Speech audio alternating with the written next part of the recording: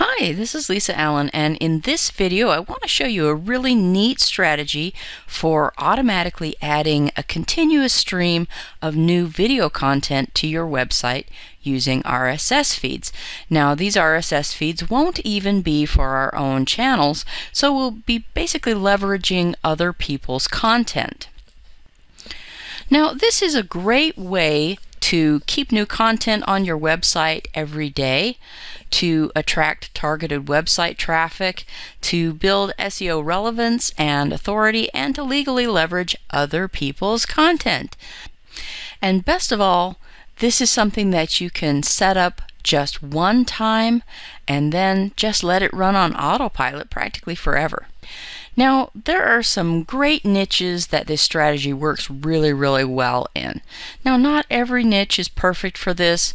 Uh, there needs to be a certain level of interest in the niche where people are always asking, How do I do something in that niche.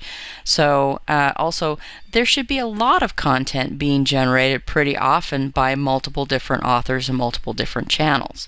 So, if there's not really a good stream of content available to you that other people are creating, then maybe this strategy won't work as well for you. But some of the great niches that this works in would be fitness, yoga, Pilates, cooking, and DIY or crafts are all really great niches for that. Sports and martial arts, fishing, the prepper and survival niches are just a few of those that would work very well with this technique because there is a ton of content out there and there's a ton of interest. So for this setup, we're going to need a few things. First, number one, we're going to need an IFTTT account. Now, IFTTT is a service that lets you kind of link other different sites together. So, lets you link social media accounts or lets you link feeds and send data from one place to another and do something with it. Also, you'll need your WordPress blog. I'm going to show you how to do this with WordPress. Now, you can also do this technique with other kinds of blogs like Blogger, uh, but we're going to use WordPress for this one. So, you're going to need your blog's URL and the login details. Now, you're also going to need YouTube channel RSS feeds, and these are something that you can look for manually by going to YouTube and searching for channels and uh, going and copying down the RSS feed URL and or you can do this really, really quickly using a little tool that I put together called RSS FeedFinder. So let's go through the steps of how to set this up. I want you to see you know, with your own eyes how to do this so that it'll make a lot of sense to you. So the first thing that we're going to need to do is that we'll go into our IFTTT account and make sure that the feed channel and the WordPress channel are both connected.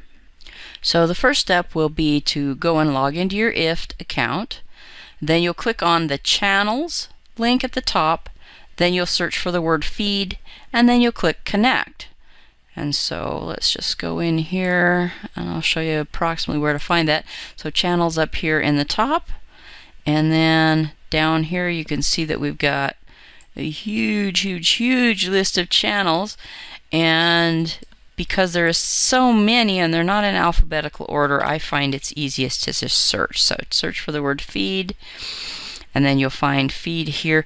Now mine is already connected, but if yours is not connected, there will be a connect button right here that you can click to connect. And that just turns the channel on so it's available for you. And then the next step would be to go and connect your WordPress channel also. So we'll go back into the channels, we'll search for WordPress, we'll, then fill in the URL to our blog and our login details, and then we'll click connect in order to get that set up. So let's go back to channels, and I'm going to search for WordPress. So there's WordPress and you can see here is my channel that's already connected. What it's going to want here is the URL of your blog, then the username that you want to use for IFTTT to be able to post to your blog, and of course your password. And then there will be a button here that says connect. Now I also wanted to mention something here really quickly before we move on from the WordPress there are some security plugins for WordPress that shut off or firewall your blog's uh, external posting functions. And so it will actually make it so that other applications can't access them. So if you have everything correct, you have the correct URL to your, your blog, and um, you've double checked that your login details are all correct, the next thing to do would be to go and turn off the firewall options on your security plugins like WordFence and try it again. Now, if you want to use this particular recipe to autoblog, those options that firewall and turn that, that feature off. It's called XML RPC. You're going to need to turn that off on those plugins in order for IFTTT to be able to make the post to your blog. So that's just really quick. You need to know that because there are some security plugins that do turn that off. And in fact, I had to turn one of mine off in order to get mine to connect. Okay, so now that we have both of our channels connected, then we're going to need to find some YouTube channel RSS feeds. And there are two ways you can do that. You can do it the slow way, which is that you go to YouTube and you search for your keyword and then you limit the results to just channels, so you're looking at channels and not videos. And then you'll go through the channels one by one and look in the source code of the page for the RSS feed link. And then, of course, you can copy the RSS feed link URL into your notes, like a notepad or something like that. So let me just go to YouTube really quickly and show you where you will find your RSS feed links. And I don't really prefer this method because it does take a little bit of digging to find it, but it is there and you can do it on the cheap if you want to. Okay, so I've come over here into YouTube and I put in the keyword video marketing tips. And you can see that I have a bunch of videos here. But up here there's something called filters and you can filter it by type. So if I only want channels that have to do with this I can get a list of channels and it's just the channels not individual videos. So let's say that maybe I wanted to get the RSS feed for this particular channel. I go over here to the channel and turn off the automatically running video so that it's not in my video. And then you just kind of right click view page source and the page source will come up down here. You have a whole bunch of stuff and what we're looking for is something that says link rel equals and then it'll usually say RSS slash XML application. Um, so let's look for that Da, da, da, it's a little, usually a little kind of in this section around the metas. Okay, link rel equals alternate, type equals application RSS XML, and here is the feed URL for this particular channel. Now you can see that if you do it this way, you will have to spend a little bit of time hunting and ferreting through the code, which I find really kind of inconvenient. So I created a tool to make it a lot easier. So let me just fire that up for you. So here's the tool that I created. This is called RSS FeedFinder. And what we're going to do in order to get some RSS feeds from YouTube channels is that we're gonna just gonna go in here and select YouTube as our source and then we're going to put in here some keywords. So we can put in video marketing tips, uh, video marketing hacks, uh, video marketing tutorials. So these are all that are all keywords that are really closely related. So let's just search for some feeds and you can see that it goes off and right away it's running off and finding all of these different channels that we can use and it actually grabs the actually grabs the uh, RSS feed for it. So I'm just going to pause this here and then we'll come back when it's done. Okay, so now we have all of these RSS feeds to choose from and put in and, and use as uh, kind of like auto blog content where we can just automatically post these videos to our site as as new ones are created and so these would be the ones that are the highest ranking channels. So they're the most likely to be the busiest channels as well. So that was the fast way to find the YouTube channel RSS feeds and um, that was just the tool there that I showed you. Now, next thing that we can do is that we can create a feed mix which is something that you can do optionally. There's two different ways to use these feeds. You can set up an individual recipe for each different feed, like maybe you wanted each feed to go into a different category on your blog or be tagged with different tags. You could do that, but one of the other ways that I find is to find a lot of channels that are creating a lot of really closely related content and then just create one feed mix from those. And so something like rssmix.com, there are others that will actually mash up your feeds and just return a single feed from those. And then you can put that one feed in the recipe and that will make it a lot easier and faster to set up. But you do sacrifice, as I mentioned, a little bit of control.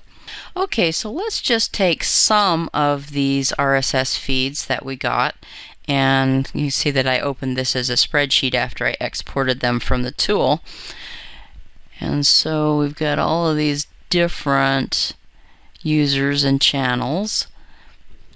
So let's just grab, let's say maybe the first, um, the first 15. Let's grab the first 15. Let's copy those and let's go put them in our feeds for the to make create a mix. So here we are at RSS mix. Just paste the feeds that we just got in here and you can leave this blank if you want to. You can fill it in. So probably I'll do something like video marketing hacks or tips. And then I'm going to click on create. Okay, so now it's gone and added all of these feeds. It's re retrieved all these feeds and created a new mix. And so here is the URL to our mix.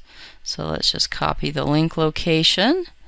And then I'm going to save that off in just a little notepad here for us to use in our recipe.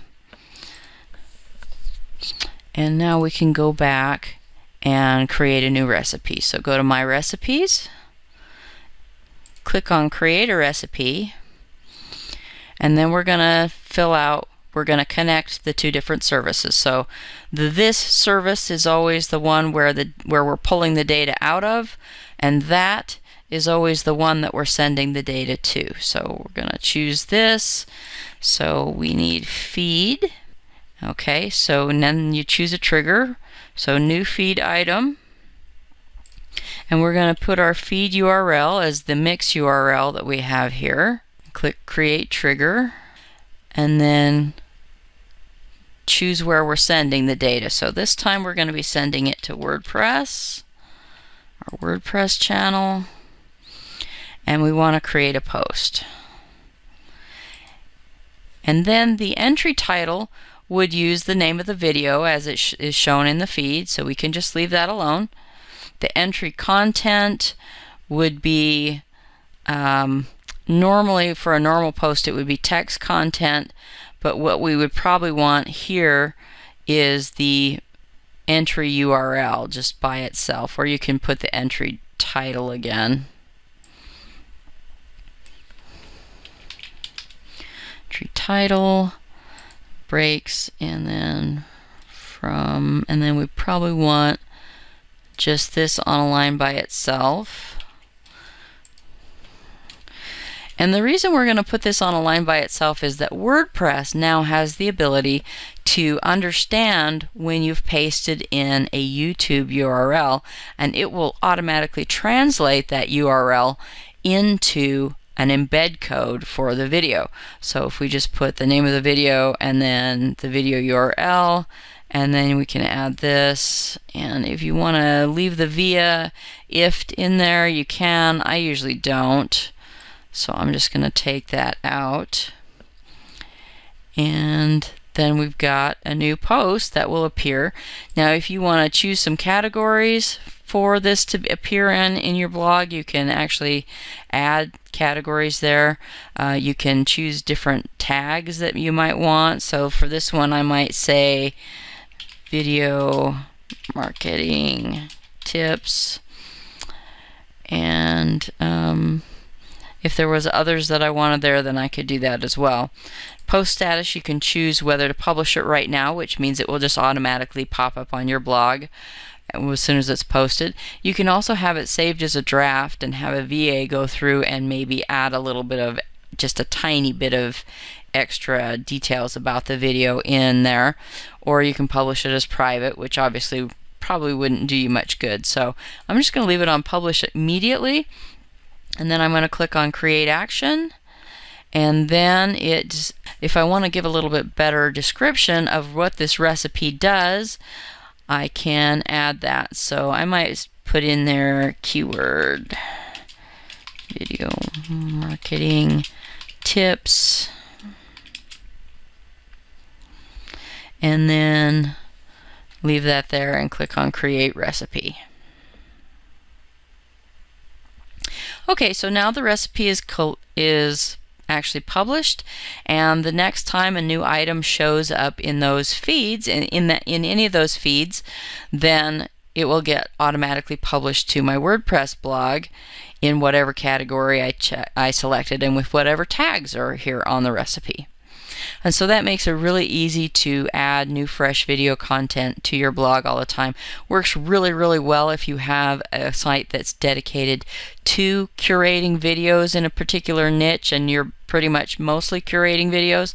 This is a really good recipe to just keep your content fresh and alive and, and new things every day. So that's it. So that's it for this video on how to use IFTTT and RSS feeds to auto curate videos to your blog on a regular basis. Really great strategy for increasing the amount of traffic that you get, for making your blog look a lot more alive and a lot more busy, which of course Google loves. And of course, when you start to have a lot of videos that are all dedicated to one subject, then you start to gain a lot of authority in that subject. And of course, more traffic follows that. So that's it for this video. Hope you've enjoyed it, and I will talk to you again soon.